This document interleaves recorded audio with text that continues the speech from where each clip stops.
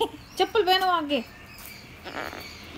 क्या कर रहे? है तो डांसी करके बताना मेरे को। डांसी करना। चप्पू पाओ चप्पल पहनो आ जाओ। हेलो गाइस आज है अहोई अष्टमी का व्रत और है पाँच नवंबर। सुबह ही मैंने अपना जो भी नाश सुबह साढ़े चार बजे उठ के नहा धो के जो भी मैंने खाना पीना करना था वो मैंने कर लिया है। तो यहाँ पे मेरा बेटा जो है वो मुझसे रूठा हुआ है। वो बोल रहा है कि, मम्मा, आप मेरे साथ खेलो, मुझे कुछ भी खेलने के लिए नहीं चाहिए। तो मैंने बोला, नहीं, मुझे अभी सफ़ाई करनी है। मम्मा आपके आपके साथ बाद में खेलेगी। बट नहीं, वो मान ही नहीं रहा था। तो उसको मैं बाहर, उसके साइकिल के साथ खेलने खेलने के लिए बोला है तो वो वहाँ पे साइकिल चला रहा है तो वह तो मैं यहाँ पे आके अपना बेड शीट जो भी है सेट कर रही हूँ बेड तो मैं जहाँ पे सारा अपना जो भी सामान है, जो भी अपनी विंडो वगैरह जो भी हमने रखा है, वो सारा कुछ सेट कर देती हूँ। ये मेरा रोज़ का रूटीन है रोज़ ही मैसअप हो जाता है, क्योंकि हमारा छोटा सा घर है, यहाँ पे मेरा बेटा भी आ गया है, जो मुझसे फ़ाइट कर रहा है कि आप मेरे साथ क्यों नहीं खेल रहे हो साइकिल पे? तो मैं इसको मना रही हूँ बट देखो, ये कैसे मुझसे हाथ, अपना पीछा चढ़ा रहा है, हाथ चढ़ा रहा है कि नहीं मम्मा, मैं रूठा हुआ हूँ। तो मैं उसको थोड़ा सा पत्या रही हूँ, मना रही हूँ। कि बस मान जाए। उसको मनाने के बाद फिर मैंने अपना फिर जो मेरा काम रह गया था वो कर रही हूँ। तो यहाँ पे मेरे मम्मा रेडी हो रहे अपने काम के लिए। तो उसके बाद मैंने अपना झाड़ू पोछा पूरा किया। थोड़ा सा सामान लाने वाला था।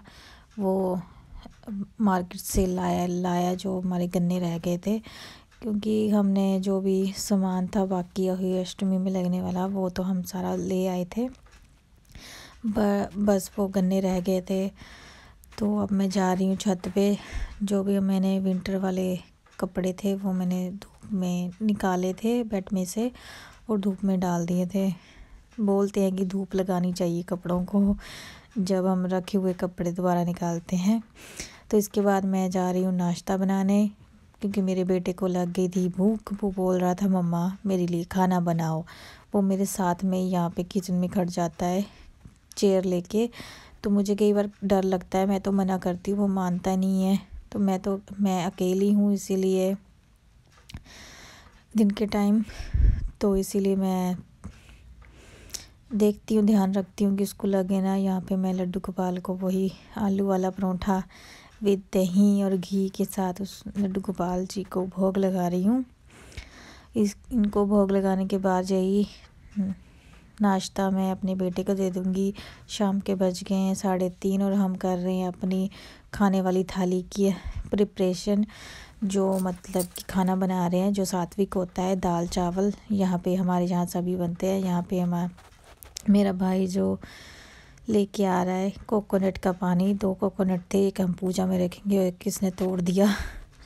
तो यहाँ पे मैं अपना पूजा का सेटअप कर रही हूँ, सारा सामान रख रही हूँ। ये है चक्रा, इसमें हम मीठ, मीठा डालते हैं।